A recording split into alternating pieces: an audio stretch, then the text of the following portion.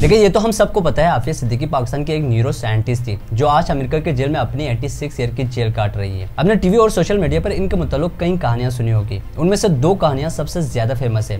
इनमें से पहली कहानी आपने ये सुनी होगी कि आफिया सिद्दीकी अलकायदा के लिए काम करती थी और नाइन एलेवन के हमलों के लिए सहूलतकार बनी थी। इसके अलावा दूसरी कहानी आपने ये सुनी होगी जो मुस्लिम वर्ल्ड में सबसे ज़्यादा फ़ेमस है। आफिया सिद्दीकी कोई ऐसा केमिकल फार्मूला बनाने के लिए तहकीक कर रही थी जिससे अमेरिका को खतरा था। इसलिए अमेरिका ने आफिया सिद्दीकी को किसी न किसी फेक केस में फंसा कर एटी ईयर के लिए कैद कर दी गई। लेकिन हकीकत में हुआ क्या था? आफिया सिद्दीकी कौन है और उनके ऊपर कौन कौन से मुकदमा दर्ज है? इस बारे में न किसी टीवी चैनल ने आज तक आपको बताया है और न ही आपने किसी सोशल मीडिया पर इनसे मुतल सुनी होगी। आफिया सिद्दीकी ने आखिर ऐसा कौन सा गुना किया था जिस वजह से उनका नाम दुनिया के टॉप मोस्ट वांटेड लिस्ट में शामिल किया गया? और वो कौन कौन से मुकदमा आफिया सिद्दीकी के ऊपर लगी हुई है, जिसके बिना पर उनको एटी ईयर की जेल हुई। हम उन्हीं सारी चीज़ों को शुरू से लेकर आखिर तक डिटेल से जानने की कोशिश करेंगे और जो भी चीज़ें मैं आपको आज की वीडियो में बताऊँगा, वो सारे के सारे ऑन रिकॉर्ड मौजूद है। आप खुद भी रिसर्च करके ये सारी चीज़ें जान सकते हैं।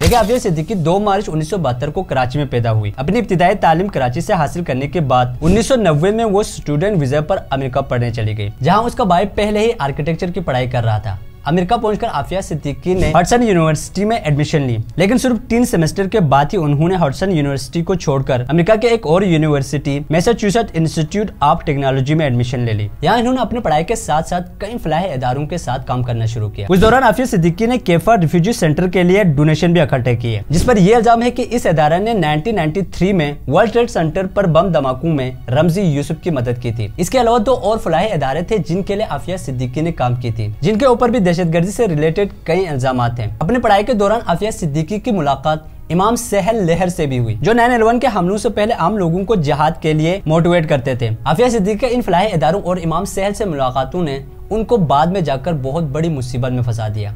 वो सारी चीज़ें भी मैं आगे जाके आपको डिटेल से बताऊँगा कि कैसे आफिया सिद्दीकी एक के बाद एक इल्ज़ाम का शिकार बना। खैर, आफिया सिद्दीकी 1995 में अपनी ग्रेजुएशन कंप्लीट करने के बाद वापस पाकिस्तान आ जाती है। पाकिस्तान आकर उनके वालदेन, उनकी शादी कराची के एक डॉक्टर डॉक्टर अमजद से करती है। शादी के बाद ये दोनों मियाँ बीवी वापस अमेरिका जाती है और वहाँ पर उनके यहाँ दो बच्चे भी पैदा होते हैं। 1999 में आफिया सिद्दीकी बोस्तान में एक गैर मुनाफा बख्श तंजीम Institute of Islamic Research and Teaching की बुनियाद रखती है, जहाँ वो खुद सदर, उनके हस्बैंड ट्रेशर, जबकि उनकी बहन ऐसे रेजिडेंट एजेंट के तौर पर काम करती है। उसी दौरान दो हज़ार एक में अमेरिका में नाइन एलेवन का वाक़ पेश आया, जिसके बाद डॉक्टर अमजद के मुताबिक आफिया सिद्दीकी बार बार पाकिस्तान वापस जाने की जिद करती थी, जिस वजह से उसने आफिया सिद्दीकी और अपने दो बच्चों को पाकिस्तान वापस भेज दिए। अब चूँकि नाइन एलेवन के अटैक के बाद दुनिया के तमाम सेक्रेट एजेंसियाँ एक्टिव हो चुके थे और हर एक के बारे में इन्वेस्टिगेशन कर रहे थे, इसी वजह से 2002 में एफबीआई ने डॉक्टर अमजद से पूछगछ शुरू की, जो इनिशियली दस हज़ार डॉलर के ऑनलाइन शॉपिंग से मुतल था, जिसमें उन्होंने नाइट विजन चश्मे how to make C fourteen gun की किताब के अलावा बॉडी आर्मर शामिल थे। एफबीआई ने जब इन तमाम चीज़ों के बारे में डॉक्टर अमजद से पूछगछ की तो वो कोई रिजनेबल जवाब नहीं दे पाया, जिस वजह से एफबीआई ने मजीद डिटेल जानने के लिए उनके दोस्त और उन लोगों से भी पूछगछ शुरू की, जो उनसे जुड़े हुए थे,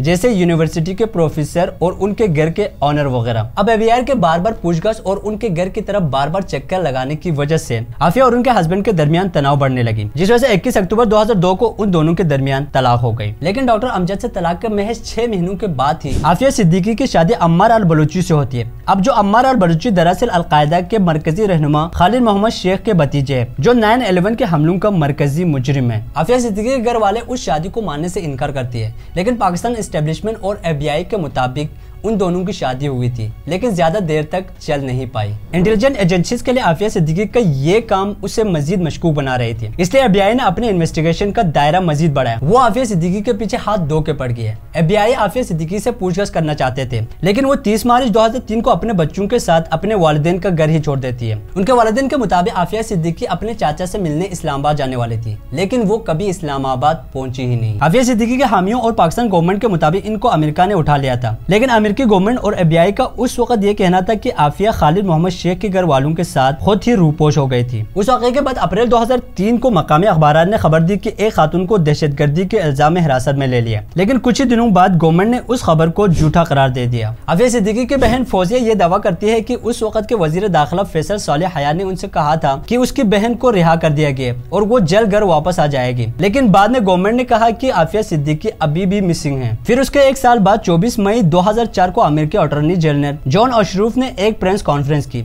जिसमें आफिया सिद्दीकी को अलकायदा के सात मोस्ट वांटेड फरारियों में से एक करार दे दिया। लेकिन उस कॉन्फ्रेंस से एक दिन पहले न्यूयॉर्क टाइम ने अमेरिकी महकमे होमलैंड सिक्योरिटी का हवाला देते हुए ये बात कही थी कि बुश इंतजामिया ये तमाम चीज़ें इराक में हमलों की नाकामियों को छुपाने के लिए कर रहा था, ताकि लोगों का अटेंशन वहाँ से डाइवर्ट किया जा सके। जोन अशरूफ के उस प्रेस कॉन्फ्रेंस के बाद अमेरिका के लिए Aafia Siddiqui most wanted person बन चुकी थी। वही दूसरी तरफ़ पाँच साल बाद आफिया सिद्दीकी को अफ़गानिस्तान में देखा गया, जहाँ पहली बार आफिया ने अपने गायब होने वाले खबर को डिस्क्लोज किया। उसने बताया कि जब वो कराची से इस्लामाबाद जा रही थी, उसे रास्ते में ही अमेरिकी एजेंसी ने किडनैप किया था और उसे पाकिस्तान से अफ़गानिस्तान ले आया, जहाँ वो पाँच सालों तक बग्राम एयरबेस में कैद रही, जिसे बाद में सबक तालिबान कैप्टू योनी रेडली ने भी तस्दीक किया कि आफिया सिद्दीकी बदग्राम जेड में कैदी नंबर 650 के तौर पर कैद थी। लेकिन पाकिस्तान में मौजूद उस वक्त के अमेरिकी एम्बेसडर एनी पेटरेसन ने इन दोनों बातों को रिजेक्ट करते हुए कहा कि आफिया सिद्दीकी जुलाई 2008 से पहले किसी भी वक्त अमेरिकी हिरासत में नहीं थी। इसी तरह द गार्डियन न्यूज़ के मुताबिक भी 2008 तक एफबीआई मुकम्मल तौर पर आफिया सिद्दीकी को पकड़ने में नाकाम थे। लेकिन आईएसआई को आफिया के बारे में सब कुछ पता था। मगर गवर्नमेंट ऑफ़ पाकिस्तान और आईएसआई उस वक्त आफिया को अमेरिका के हवाले करने के लिए तैयार नहीं थे। इसकी वजह ये मानी जाती है, आफिया सिद्दीकी एक हाई क्वालिफाइड न्यूरो साइंटिस्ट होने के साथ साथ वो एक वायरस से रिलेटेड प्रोजेक्ट पर भी काम कर रही थी और उनके पास उससे मुतल बहुत सारे मालूम भी थे। एफबीआई के मुताबिक आफिया सिद्दीकी अलकायदा के साथ मिलकर उस वायरस को अमेरिका और इसराइल में फैलाने वाले थे।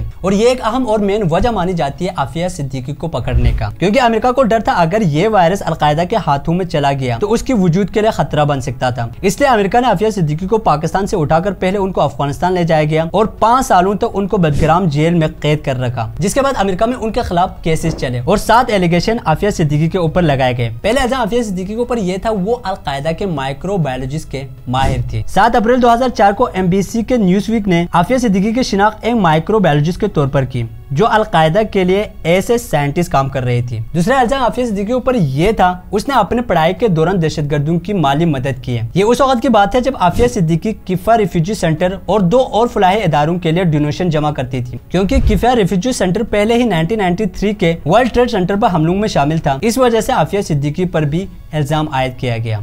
तीसरा इल्ज़ाम आफिया सिद्दीकी पर यह है कि वो अलकायदा को हीरो की शक्ल में फंड प्रोवाइड करती थी। एफबीआई के मुताबिक आफिया सिद्दीकी हर साल दो मरतबा लाइबेरिया जाती थी और वहाँ से हीरे स्मगलिंग करके अमेरिका ले आती थी। क्योंकि उन्नीस सौ तिरानवे के हमलों के बाद अलकायदा के तमाम बैंक अकाउंट्स को ब्लॉक कर दिया गया था। इनके पास कोई और ज़रिया नहीं था, इसलिए उन्होंने आफिया सिद्दीकी को यूज़ किया। एफबीआई के मुताबिक 2001 में भी आफिया सिद्दीकी पाकिस्तान से लाइबेरिया गई थी और वहाँ से हीरे स्मगलिंग करके अमेरिका लाए थी और उन्हीं हीरों के पैसों से नाइन एलेवन का हमला सर अंजाम दिया गया। लेकिन आफिया सिद्दीकी के वकील ने इस बात की तरदीद की कि 2001 में वो बोटसान में अपने बच्चों के साथ गर्मियों की छुट्टियाँ गुजार रही थी। चौथा इल्ज़ाम आफिया सिद्दीकी के ऊपर यह है कि वो अपने मर्ज़ी से गायब हुई थी। उनको किसी ने अगवा नहीं किया था। एफबीआई के मुताबिक वो खुद ही रूपोश हो गई थी, जबकि आफिया का कहना था, उसे पाकिस्तान आई और सी ने मिलकर अगवा किया था। पांचवा इल्ज़ाम आफिया सिद्दीकी ऊपर यह है की वो मुसल्ला और खतरनाक है। छब्बीस मई को अमेरिकी अटर्नी जनरल जॉन अशरूफ ने आफिया सिद्दीकी का नाम अलकायदा के साथ मोस्ट वांटेड टेरिस के लिस्ट में शामिल कर दिया। उनका कहना था, ये साल लोग अमेरिका पर किसी भी वक्त हमला कर सकते हैं। लेकिन जैसे मैंने पहले बताया न्यूयॉर्क टाइम के मुताबिक, ये सब बुश इंतजामिया की एक चाल थी इराक में नाकामियों को छुपाने के लिए,